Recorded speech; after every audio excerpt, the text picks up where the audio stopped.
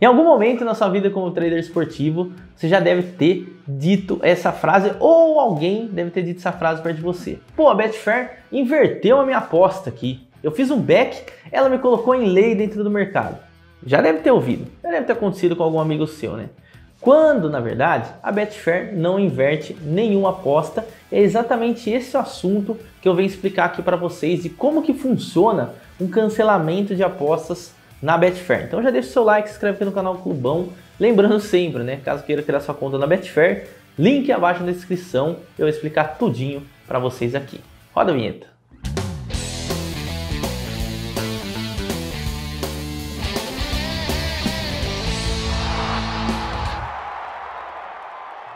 A primeira coisa que vocês têm que entender, em quais situações pode ocorrer aí uma inversão de apostas por conta da Betfair. Na verdade, um cancelamento.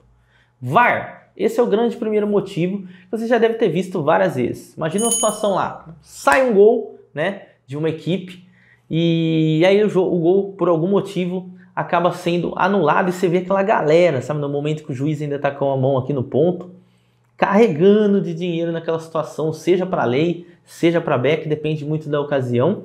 E por fim, depois que acaba toda essa resolução, o juiz às vezes dá o gol ou até mesmo anula o gol, você percebe que o mercado, pum, fecha, suspende e depois vocês percebam que alguns lugares, né, algumas odds que tinham ali colocado apostas, ou seja, apostas inseridas naquele momento, eles acabam sumindo, né? Por quê? Porque a Betfair foi e anulou todas essas entradas. Por quê? Porque essas entradas foram canceladas, que era no momento que, segundo a regulamentação da Betfair, não é possível de fazer, ou seja, não dá para tirar proveito. Inclusive, depois eu vou trazer para vocês o parágrafo falando exatamente sobre isso.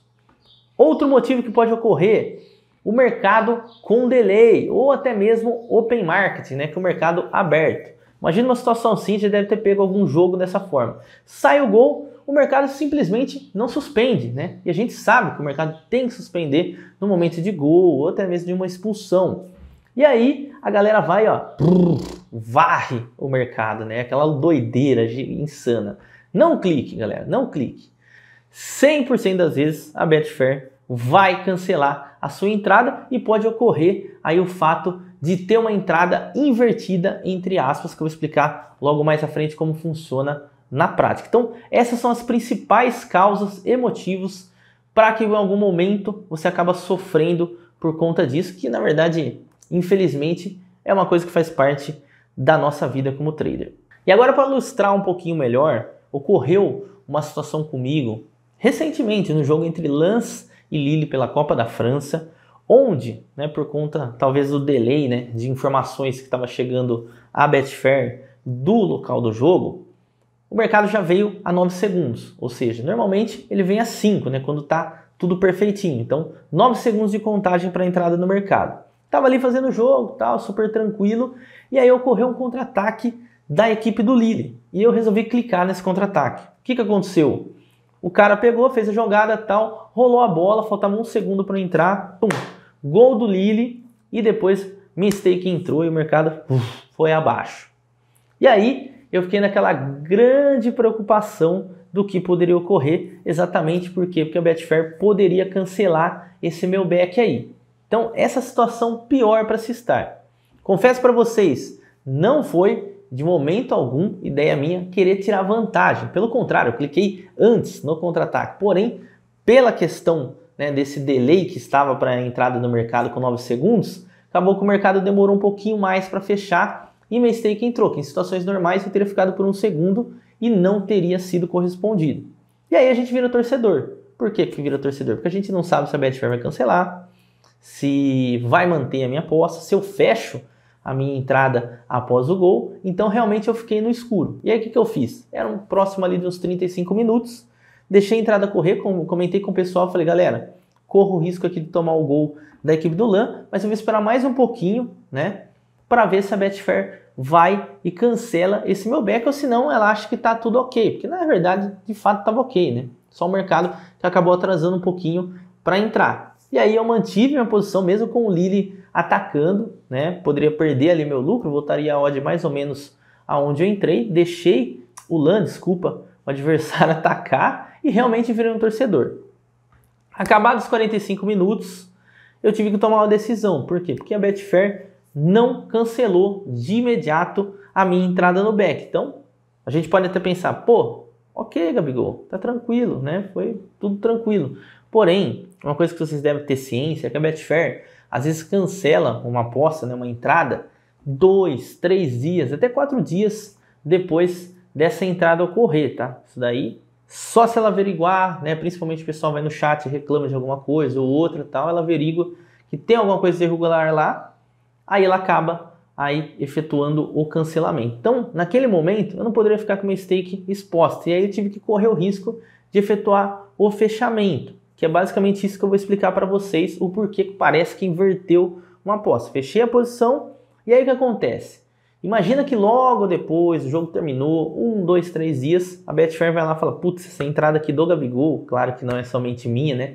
Mas nesse período, acabou sendo irregular, por quê? Porque foi depois do gol ter ocorrido, certo? Aí ela vai e cancela o meu back. Aí o que, que fica dentro do mercado? Fica o meu lei. Exatamente por isso que muita gente pensa que a Betfair inverte, como na verdade não. A única coisa que ela faz é cancelar a entrada no momento que ela julga irregular, que no meu caso seria o back, tá? E deixar os leis, tá? E aí eu comentei com o pessoal, né? Numa loja, falei, galera, tá 2 a 0 pro Lille o jogo. Eu vou fechar porque eu não vou ficar com a stake exposta o tempo todo e vou realmente ter que torcer. Já calculei mais ou menos quanto que eu perderia, perderia em torno de 20% ali do meu stake. Falei, ó, vou que eu tava fazendo 40% de lucro no jogo. Falei, fechei. Se ocorrer da Betfair cancelar o meu back, vou perder 20% da minha stake, foi basicamente o que eu coloquei de responsabilidade no mercado na minha saída, ou seja, para fazer o cash out. E aí peguei, deixei correr e torci realmente, falei, vou torcer para o Lille não vencer o jogo. Por que isso, Gabigol? Porque se o Lille não vencesse o jogo, né, e ficasse somente os meus leis, ainda assim, se a Betfair fechasse o meu back, né, tirasse o meu back, eu estaria com os leis a equipe do Lille e aí sim eu sairia no lucro da mesma forma, né? Da mesma maneira. Realmente é uma situação muito ruim, é virar torcedor mesmo. E aí acabou que no último minuto a equipe do LAN foi e empatou o jogo, ou seja, 2 a 2 Então, mesmo que a Betfair cancelasse, algo que não aconteceu nesse caso, né? A Betfair achou tudo ok ali nas entradas, manteve o meu back, manteve o lucro do meu back, fechamento ali no lei que eu tinha feito. Caso tivesse ocorrido o contrário, ela consideraria que eu fiz um lei à equipe do Lille. Aí, se o Lille tivesse vencido o jogo, aí sim eu teria prejuízo caso ela cancelasse. Como no fim das contas o LAN venceu, então fiquei poder dormir tranquilo essa noite. Eu sei que mesmo com esse relato pessoal, deve ter ficado um pouquinho confuso para você como que funciona basicamente isso, né? Então, eu vou fazer aqui o seguinte, vamos lá para a tela do computador e lá eu vou mostrar né, numa escada né, do, do Geekstoy aí fictícia, como que funciona esse cancelamento que na verdade não é uma inversão de apostas que a Betfair costuma fazer em situações de VAR, de mercado fechando atrasado, gol anulado, etc, etc. Vamos lá para a tela? Beleza, pessoal, como prometido para vocês, agora aqui na tela, vou trazer primeiramente as regras da Betfair relacionadas a esse tipo de ocorrência, tá? Vou deixar aqui a primeira delas aqui, ó. No parágrafo 1.3, tá? Nos mercados de futebol, sem suspensão na ocorrência de evento relevante e regras relacionadas ao VAR, né? Ou seja, diz tanto do VAR quanto de eventos relevantes. que são eventos relevantes, né? Cartão, uma expulsão, né, no caso, um gol, principalmente, talvez seja o evento mais importante aí. E aqui ele coloca, ó, se a Betfair não suspender o mercado a tempo para ocorrência de evento importante, ou seja, Evento importante, um gol, não fechou a tempo, tá? A Betfair reserva-se o direito de anular apostas correspondidas após a ocorrência do evento importante, ou seja, bateu o gol, pum, aposta correspondida, então ela pode anular esta aposta. Tá? Percebam, a palavra é anulação, não é inversão de aposta. Anulação dessas apostas pode ocorrer durante o evento ou retrospectivamente após a conclusão de um jogo. Então, mesmo caso ocorra uma situação como essa ali de momento para você, o que eu recomendo, abra, fecha a ladder aí do seu software, tá? Atualiza também no site, né? Vai para o site também, que o site é bem importante nesse sentido, porque ele acaba atualizando as, as ocorrências. Caso nada tenha sido feito né, nos próximos minutos, acaba o jogo, aí sim pode ocorrer depois. E aqui ele coloca também, ó, quando evento importante cancelado devido a uma determinação feita por um árbitro assistente de vídeo, que é o VAR, a Betfair anulará as apostas da seguinte forma para tal evento importante e seu cancelamento. Ó. Para o cancelamento de um gol devido ao VAR, as apostas correspondidas entre o momento da marcação do gol e o momento que o assistente de vídeo termina a revisão serão anuladas. Então é aquele momento que o mercado fica aquela loucura, né? Vai ser anulado, não vai? Joga a odd para cima, joga a odd para baixo. Então, cara, não adianta. Não perca tempo e não corra risco também da Betfair às vezes até manter, sabe, uma, uma dessas entradas e depois você tem que ir lá no chat, reclamar e tudo mais. Lembrando que esse vídeo aqui não é para defender a Betfair de forma alguma. Pelo contrário, é para a gente entender melhor como que funciona esse tipo de situação. Cancelamento de um cartão vermelho devido ao VAR, tá vendo? As apostas correspondidas após o momento que o assistente de vídeo começa a visão serão anuladas. Então, ele fala de tudo por aqui. Também tem um outro parágrafo aqui que fala da mesma coisa. Isso aqui é das regras gerais, tá? Relacionadas ao futebol, tá? Eu vou deixar os dois links abaixo na descrição para vocês lerem com calma. Mas basicamente é isso é, que vocês têm que entender. Apostas durante esses momentos relevantes, que tiver mercado aberto, tiver consulta de VAR, serão anuladas, beleza? Agora sim, trazendo a parte prática de como que funciona essa aposta que parece invertida, mas na verdade não é, tá? Vamos imaginar uma situação aqui, ó, stake de 100, tá? Para ficar mais fácil de entender na questão dos cálculos, tá, pessoal? 6,5%. Estou utilizando aqui o radar esportivo. Tem a, a ladder fictícia deles aqui. Aí vamos imaginar uma situação. Pô, você está lá num jogo, tal. Vamos supor que o favorito aí é o Chelsea, por exemplo. Aí vai, o Chelsea vem no ataque, Lukaku, pum, gol, mercado aberto. Você fala, opa, mercado aberto, vamos clicar. Imagina que o mercado tava 2, você clicou lá embaixo, 86. Pum, gol, pegou 86. Fala, putz, lindo, forrada coisa maravilhosa, tal.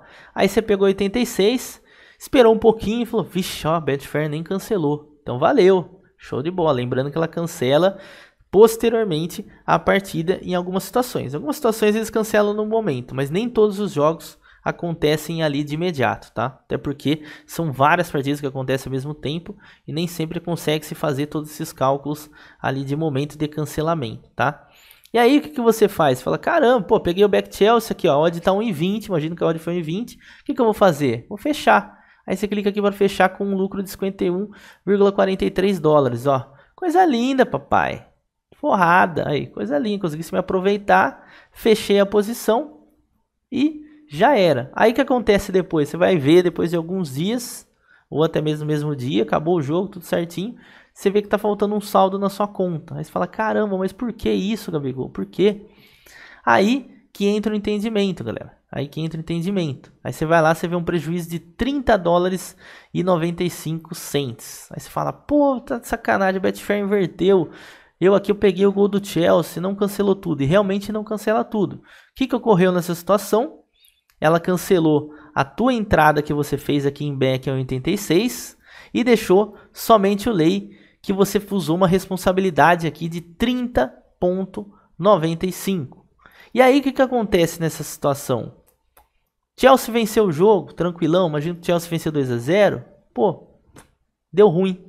Por quê? Porque a Betfair entende que você só fez somente um leão em 20 ao Chelsea. Ele venceu o jogo. Então, de fato, não está errado em questão de cálculo. Entenderam?